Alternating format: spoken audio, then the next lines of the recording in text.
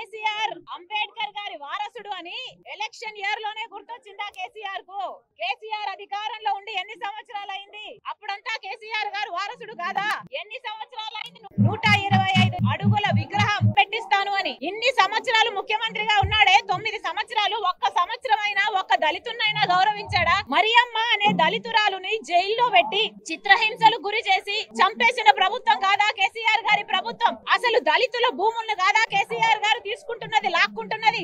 దళితులకు ఇచ్చిన అసైన్డ్ భూముల్లో నే కదా ఈ రోజు ప్రజా రైతు వేదికైనా దళితుల భూముల్లోనే కడుతున్నారు. లేకపోతే శ్మశానాలకైనా దళితుల భూములనే గుంజుకుంటున్నారు. లేకపోతే పల్లె ప్రకృతికైనా దళితుల భూములనే గుంజుకుంటున్నారు. మరి దళితుల మీద ప్రేమ ఉంటే అంబేద్కర్ గారి మీద ప్రేమ ఉంటే కేసీఆర్ గారు ఇంత దారుణంగా వ్యవహరిస్తారా? అసలు దళితుల్ని ఓట్లేసే యంత్రాలుగా చూస్తున్నాడు కేసీఆర్ గారు. అసలు దళితుల్ని మనుషులుగా కూడా కేసీఆర్ గారు. కేసీఆర్ గారి దృష్టిలో ఓట్లేయడానికి మాత్రమే పనికొచ్చే యంత్రాలు దళితులు. ఇది కూడా ఎలక్షన్ ఇయర్ కాబట్టి ఎలక్షన్లు వచ్చినాయి కాబట్టి ఇప్పుడు మనకు ఆ విగ్రహం కనిపిస్తుంది. అసలు ఇది ఎలక్షన్ ఇయర్ కాకుంటే అసలు ఈ విగ్రహం కూడా కనిపించకపోయేది. సిగ్గుండాల కేసీఆర్కి ఒక నియంతలా పరిపాలన చేస్తూ మళ్ళీ అంబేద్కర్ గారి వారసుని అని చెప్పుకోవడానికి సిగ్గుండాల కేసీఆర్కి